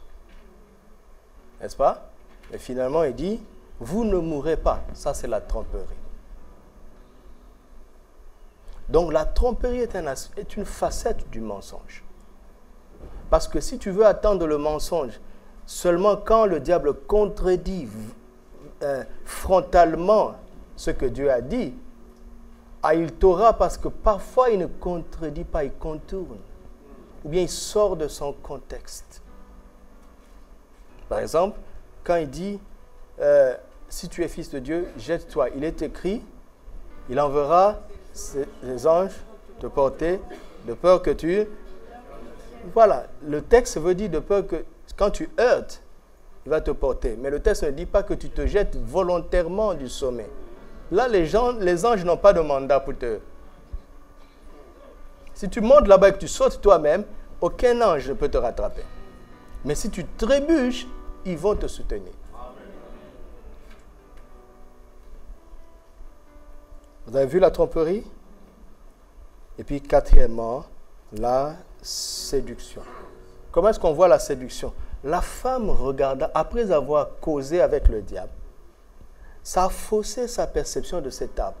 Elle a regardé l'arbre et soudain l'arbre est devenu le plus beau de tout le jardin. C'est faux. Dans le jardin, Dieu avait sélectionné des arbres qui étaient agréables, à la vue et bon à manger. Tous les arbres étaient beaux. Mais parce qu'elle a été séduite, cet arbre est devenu d'une beauté apparemment exceptionnelle. Tu comprends, ma soeur? Quand cet homme te séduit, tout à coup, tu ne dors plus. Il t'a dit seulement une parole et tu perds le sommeil à cause de l'onction diabolique qui accompagne séduction. Et si on ne t'arrête pas sur le terrain de la séduction, tu vas tomber dans la fascination.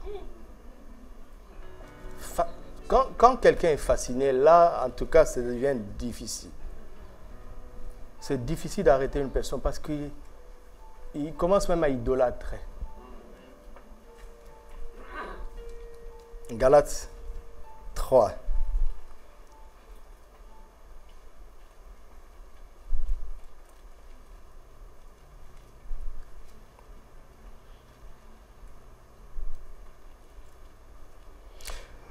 Verset 1. Ô Galates, dépourvu de sens, qui vous a fasciné? Vous aux yeux de qui Jésus a été peint comme un. Goliath, par exemple, il fascinait Israël à cause de son apparence impressionnante. Mais l'homme spirituel ne peut pas être fasciné. Regarde, quand Dieu, vous pouvez écouter encore? Quand Dieu a envoyé Samuel oindre David, il a dit une parole. Il dit, prends garde à son apparence quand je l'ai rejeté. Quand, Samuel a considéré les grands frères de David, il dit, l'homme regarde à ceux qui frappent, mais l'Éternel regarde, d'accord? Sachant qu'il avait dit, j'ai trouvé David, homme selon mon cœur. Donc, dans son secret, David avait appris à considérer les choses intérieurement. Et quand David arrive sur le champ de bataille, il ne peut pas être fasciné par l'apparence impressionnante de Goliath parce qu'il a appris à regarder à l'intérieur. Et à l'intérieur, il voit un incirconcis. Quelqu'un qui n'a pas d'alliance avec Dieu. Il sera difficile qu'on vous fascine. Je le sais. Vous m'entendez? Ce sera difficile de vous fasciner, vous qui venez dans cette assemblée. Mais je ne dis pas que ce sera, pas difficile, ce sera difficile de vous séduire. Mais ça sera difficile de vous fasciner. Et donc, parce que le diable le sait, il ne va pas venir vous fasciner. Il ne vous aura pas. Et voici ce que l'Esprit m'a dit de vous dire l'Esprit m'a dit de nous mettre, nous tous, en garde contre la séduction. Hein? Pourquoi? Apocalypse 12, à partir du verset 7e.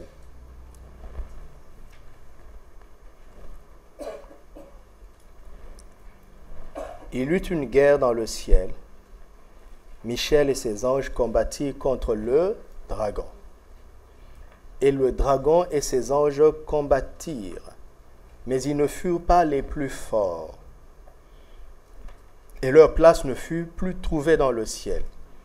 Et il fut précipité qui? Le grand dragon, le serpent ancien, appelé Satan et le diable. Vous voyez, on, on donne quatre descriptions de celui qu'on appelle Satan. Il est le grand dragon, le serpent ancien. Il est aussi appelé le diable et Satan. Tout ça pourquoi? Pour séduire toute la terre. Vous comprenez? Pour séduire, le diable additionne tout ce qu'il est. Tout ce qu'il est, il les additionne. Pour séduire séduire. Maintenant, quel est le remède? C'est très important, suivez ça avec beaucoup d'attention. Il fut précipité sur la terre et ses anges furent précipités avec lui. J'entendis dans le ciel une voix forte qui disait, Maintenant, le salut est, et la puissance et le règne de notre Dieu et l'autorité de son Christ. Car il a été précipité, l'accusateur de nos frères celui qui les accusait devant notre Dieu jour et nuit. C'est ce que le diable fait.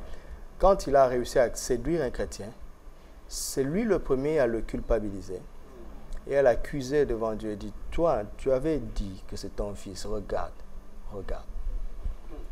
C'est pour ça que quand un enfant de Dieu, poussé par le diable, fait quelque chose de mal, d'accord? Le même diable qui l'a poussé à ça, au lieu de l'acclamer, c'est lui le premier à l'accuser. Mais qu'est-ce qu'il veut? Il veut que tu restes dans la culpabilité pour ne pas te mettre à genoux devant le Père de grâce. Parce qu'il connaît papa. Il connaît la bonté de papa. Il sait que si tu oses demander pardon, papa va pardonner. Alors qu'est-ce qu'il fait? Il accuse.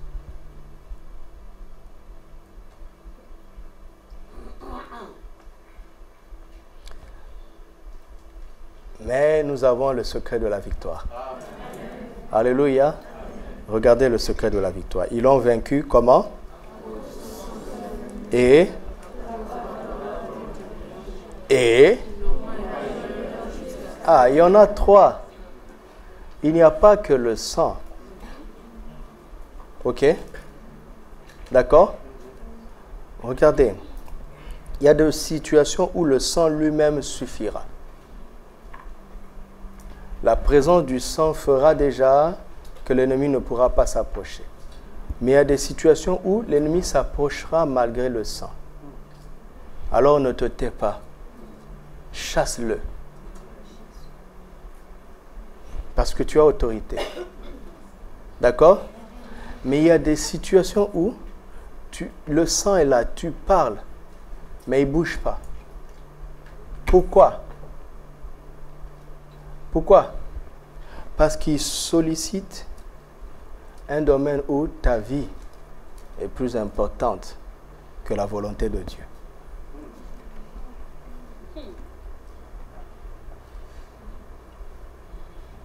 Vous voyez que c'est très important ce qu'on partage ce soir.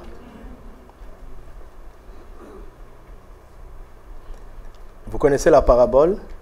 Du semeur Il y a une certaine terre qui est l'état d'un cœur. Ce cœur reçoit la parole de Dieu, l'entend et la comprend, mais il ne peut pas porter du fruit. Pourquoi? À cause de la séduction des richesses. Séduction. Et là, le sang et la parole du témoignage ne peuvent pas intervenir. Parce que sur ce terrain-là, ta vie est plus importante que la volonté de Dieu. C'est pour ça qu'il rôde, il rôde jusqu'à discerner où est le domaine où tu t'aimes toi-même plus que lui.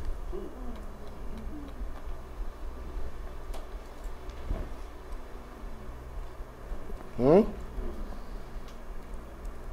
Regarde cet homme, l'apôtre Paul, il a remporté tellement de victoires, mais il finit par dire, Christ est ma vie, même la mort m'est un gain.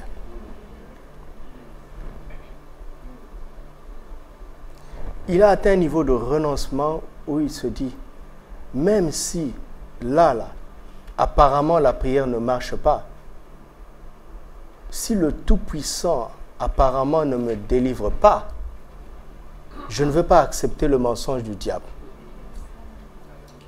Parce que s'il ne me délivre pas apparemment, c'est qu'il sait que ce problème va me propulser dans un gain.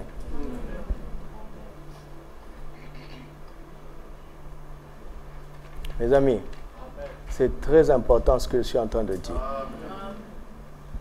Demain, on va voir les clés de l'autorité. Mais quand la séduction rentre dans le cœur de quelqu'un,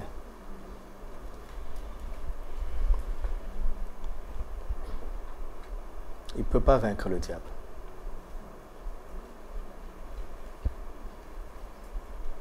La séduction dans le cœur d'un chrétien paralyse la puissance du sang et de la confession de foi.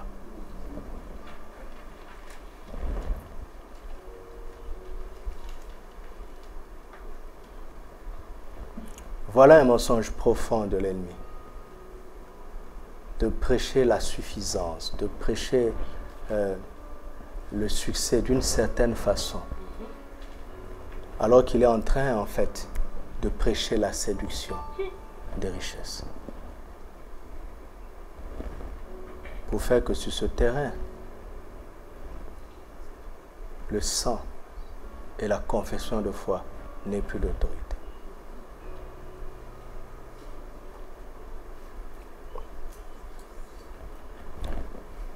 Alors, quelle est la solution?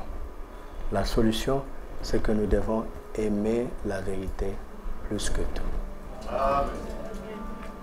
D'accord? La solution, c'est l'amour de la vérité. D'aimer Jésus plus que soi-même. La route est longue, mon ami. Si tu n'aimes pas Jésus plus que toi-même, ce sera difficile de terminer comme un vainqueur.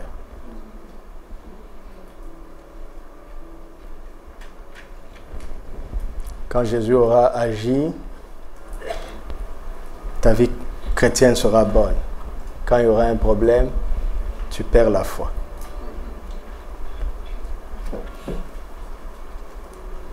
La séduction, la séduction. Paul dit que la force de l'église des Thessaloniciens, c'est que ils avaient l'amour de la vérité et ils aimaient l'avènement du Seigneur. Alléluia. Écoute, rentre, va réfléchir. Demain, je vais reprêcher encore, je serai debout. On aura des temps d'onction. Mais rentre, va réfléchir. S'il y a quelque chose dans ta vie pour lequel tu dis, le Seigneur doit d'abord attendre que j'ai ça avant de venir. Hein? Je vous parle. Je m'amuse pas. S'il y a quelque chose, tu dis non, ça là, non, le Seigneur doit attendre. Il faut d'abord que j'ai ça avant son retour. Précieuse information pour le diable. Aimer la vérité et aimer son avènement. Qu'est-ce qui vaut mieux que d'être avec lui? Je ne vois pas une seule chose sur cette terre qui ferait que je dirais à Jésus, attends d'abord. Qu'est-ce qui vaut mieux Hein? Le jour où tu parles comme ça, le diable enregistre. Aimer la vérité. Ce grand homme, David, quand il tombe très bas, il se rend compte que la vérité n'était pas au fond de son cœur. Il dit, mais tu veux que la vérité soit au fond de mon cœur. Tous les terrains où tu tombes souvent, et tu le sais, sont des précieuses informations. Ça te montre la chose que tu aimes encore plus que Jésus, ton Seigneur bien-aimé. C'est une précieuse information. Après la repentance, la confession, d'accord? Regarde-toi dans le miroir et dis-toi, Doudou, ça là, tu aimes ça encore. Et cherche pourquoi Jésus n'est pas plus important que ça. Cherche à te comprendre. Parce qu'il y a un domaine où le diable te trompe. Il y a un mensonge que tu as accepté qui fait que là, dans ce domaine-là, il y a une séduction qui t'a envahi qui fait que dans ce domaine-là, Jésus passe au second plan. Alléluia. Et c'est tellement subtil que parfois, parfois, parfois, un mari prend la place de Jésus dans le cœur d'une épouse. Une épouse prend la place de Jésus dans le cœur d'un mari. Surtout quand tu as trop souffert pour avoir cette femme. Ou un enfant ou des enfants prennent la place de Jésus dans les cœurs des parents, surtout quand ils ont souffert pour avoir ces enfants. Allez demander à Abraham. Dieu voulait le délivrer de la place qu'Isaac occupait dans son cœur. Allez demander aux esclaves. Dieu voulait les délivrer de la place que ces trésors, cet argent et ces or, cet or avaient pris dans leur cœur. Dieu voulait les délivrer. Et vous savez quoi? Ils n'ont pas réussi. Seulement deux ont réussi, Josué et Caleb. Et ça, on va le voir le dimanche. Donc il faut qu'on on arrête de s'agiter dans l'église. C'est trop sérieux pour qu'on s'agite. Tu comprends? Nous avons lu hier ce que Paul dit. notre passage de base, là, 2 Corinthiens 13, 8. Paul dit à ces Corinthiens, il dit, examinez-vous vous-même pour que vous ne soyez pas réprouvés. Examine-toi, mon ami, examine-toi il y a quelque chose ou, quelqu'un que tu aimes plus que Jésus, ou que tu commences à aimer plus que Jésus. Ça, ça va ouvrir la porte à la séduction. Et quand la séduction entre dans le cœur d'une personne, le diable amène ses quatre onctions de grands dragons, de serpents anciens, de diable et de Satan. Il va investir Pourquoi? Pour que tu es avec lui en enfer.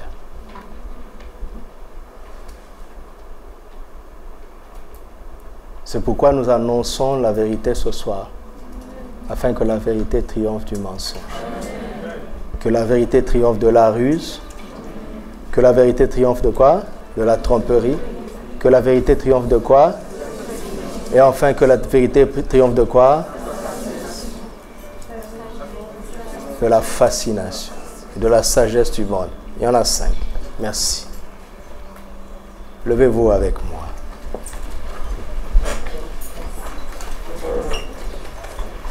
Mettons encore nos mains sur nos cœurs. Dites avec moi, Père, j'ai entendu ta parole qui est la vérité. Et je la reçois dans mon cœur. Je prie maintenant que par la puissance du Saint-Esprit, que cette vérité triomphe de l'effet de la sagesse du monde, de la ruse, de la tromperie, de la séduction et de la fascination de ma vie. Garde-moi à l'abri de la vérité, loin de toute influence mensongère, qui vient du diable. Je suis un fils de Dieu. un fils de la vérité. Je ne suis plus un fils du diable. Il n'y a pas de mensonge dans mon fond. Mais je suis plein de vérité. Que ta vérité remplisse mon cœur. Ce cœur que tu as purifié par ton sang précieux, et que tu as lavé, par ton Saint-Esprit. Je suis le temple du Saint-Esprit. Mon cœur est pur. Remplis-le d'amour de la vérité. Et apprends-moi à aimer ton avènement. À penser chaque jour à l'enlèvement à me préparer chaque matin, à m'attendre chaque matin, à ton retour. Qu'il n'y ait rien dans ma vie pour lequel j'envisage de retarder ton avènement. Une seule raison. Une seule raison. Une seule raison.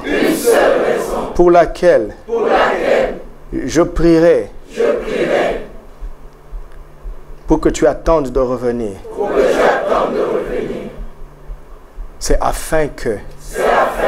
J'annonce l'évangile. J'annonce la vérité. Et que je gagne les âmes. Pas seulement pour la récompense que j'attends. Mais par amour pour mon prochain. Parce que je ne veux pas qu'il passe l'éternité en enfer. Ô Père, je te remercie. Pour la vérité. Qu'est Jésus.